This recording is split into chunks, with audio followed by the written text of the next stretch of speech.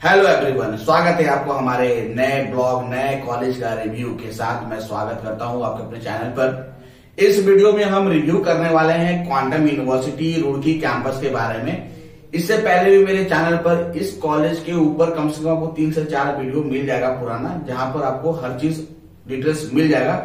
इस वीडियो में भी हम कवर करने वाले हैं क्वांटम यूनिवर्सिटी का प्लेसमेंट कॉलेज का एनवायरमेंट यहाँ का बच्चों का फीडबैक कैसा है? मैंने पर्सनली क्वांटम यूनिवर्सिटी भी विज़िट किया हुआ है और मेरे पिछले वीडियो में भी जाकर देख सकते हो, मैंने वहाँ का ब्लॉग भी बनाया हुआ है कॉलेज का कैंपस का टूर किसी को कैंपस का टूर देखना होगा तो जाकर मेरे वीडियो को चेक करना, मैं ऐसे डिस्क्रिप्शन में लिंक डाल दूँगा।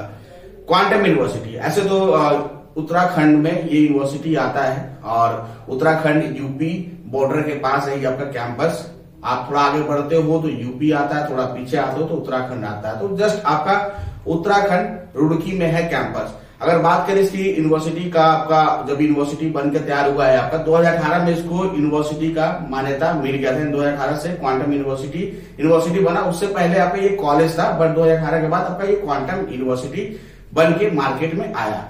अगर उत्तराखंड में देखोगे तो इसका कहीं ना कहीं आपको नाम सुनने को मिल जाता है। रीजन है कि ये अपने आप को उस टाइप से क्वालिटी को बरकरार रखा हुआ है, जलवा अभी भी इसका बरकरार है क्वांटम यूनिवर्सिटी का। क्वांटम यूनिवर्सिटी में बहुत सारे कोर्सेज ऑफ़र होते हैं, जिसमें इंजीनियरिंग मैनेजमेंट फार्मेसी लॉ उसके अलावा आपका यहाँ पे एग्रीकल्चर उसके बाद आपका मास कम्युनिकेशन ऐसे बहुत सारे कोर्सेज आपको देखने को मिल जाएँगे। मोस्ट प्रॉब्ली जो बच्चे मेरे वीडियो पर आते हैं और जो मुझसे पर्सनली क्वारी करते हैं, यार प्लेसमेंट क्योंकि ये चीज़ बहुत ज़्यादा इंपॉर्टेंट होता है अपने लाइफ में लेकर के, जिस कॉलेज में एडमिशन ले रहे हैं, उसका प्लेसमेंट कैसा है? क्योंकि आपको ये चीज़ हर जगह सही फीडबैक नहीं मिल पाता है। तो मैं यहाँ के जो स्टूडेंट है, ठीक है, किसी को अगर यहाँ के स्टूडेंट का नंबर भी चाहिए तो ऑलरेडी वहाँ पढ़ रहे हैं तो मैं वहाँ का भी बच्चों का नंबर शेयर कर दूँगा, जो लास्ट ईयर उससे पहले भी यहाँ पर ऑलरेडी एडमिशन लेके वहाँ पढ़ रहे हैं, उनका क्या फीडबैक है उनका नंबर शेयर करूँगा कोई साथ में आपको चाहिए किसी को तो।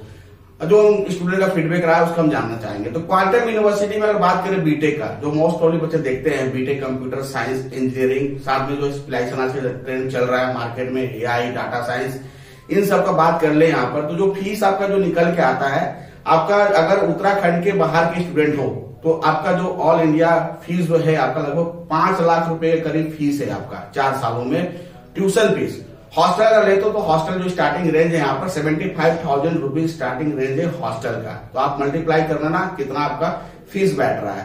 तो अगर बात करें यहाँ पर इससे बीटेक कंप्यूटर साइंस का प्लेसमेंट का तो भाई प्लेसमेंट जो अब तक मैंने जो यहाँ फीडबैक देखा है आपको जो प्लेसमेंट का जो सिनेरियो समझ में आएगा 3.3 लाख रुपीज़ का मिनिमम प्लेसमेंट कंप्यूटर साइंस का आज के टाइम में जा रहा है। अभी के टाइम का करेक्ट डाटा जो है 3.3 लाख रुपीज़ का मिनिमम प्लेसमेंट कॉलेज ऑफ़र कर रहा है। उसके अलावा एवरेज प्लेसमेंट की बात करो तो कोई डाउट नहीं है, छह लाख रुपए का एवरेज प्लेसमेंट है आपका बीटेक में। किसका बात कर रहा हूँ? कंप्यूटर साइंस ब्रांच का। हाइस्ट पैकेज ऑलरेडी आपको दिख जाएगा, हर जगह हाइस्ट की बात नहीं करते हैं। अब बात करते हैं एमबीए कोर्स में। तो आपको यहाँ पे एमबीए में बहुत सारे स्पेशल मिल जाएँगे फाइनेंस मार्केटिंग ऑपरेशन साथ साथ 2023 में भी आपका एमबीए एग्री बिज़नेस भी आया हुआ है। तो खैर एमबीए एग्री बिज़नेस अभी इनके लिए नया है और बाकी जो एमबीए का स्पेशल उसमें प्लेसमेंट अगर आप देखोगे तो आराम से मिनिमम प्लेसमेंट जो कॉलेज आपको रिटर्न में दे रहा है लेकर फोर लाख रुपीज़ का मिनिमम प्लेसमेंट आपको ऑफ़र कर रहा है। एवरेज प्लेसमेंट जो एमबीए कोर्स के लिए आपका, आराम से भाई five lakh rupees to six lakh rupees का एवरेज प्लेसमेंट ठीक ठाक है इनका देखोगे तो और जो अदर ब्रांचेस की बात कर ले अदर ब्रांचेस में क्या आपका लॉ का भी अच्छा यहाँ पर बैकग्राउंड देखने को मिलता है, क्योंकि जो क्लासरूम वगैरह है, जो प्रैक्टिकल जो आपका क्लास क्लासेस है, बहुत अच्छा मेंटेनेंस है, क्योंकि मैं पर्सनली कैंपस विज़िट किया हूँ। अब ये बात रहा कुछ कोर्सेज के बारे में, सारे कोर्स का मैं फीडबैक नहीं रिव्यू कर पाऊँगा। किसी और को किसी कोर्स के बारे में जानना होगा तो मेरे से पर्सनली व्हाट्सएप पर कैंडल पर डाउट क्लियर करना।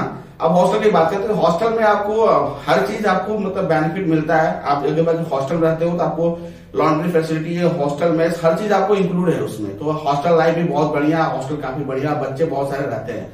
मोस्ट प्रोबली जो स्टूडेंट देखा गया यहाँ पे एडमिशन के लिए, ऐसे तो ऑल इंडिया से बच्चे आप पढ़ने आते हैं। ज़्यादा जो बच्चों की संख्या मिलेगी आपको यहाँ पर, बिहार, नेपाल, झारखंड, वेस्ट बंगाल, मध्य प्रदेश, दिल्ली।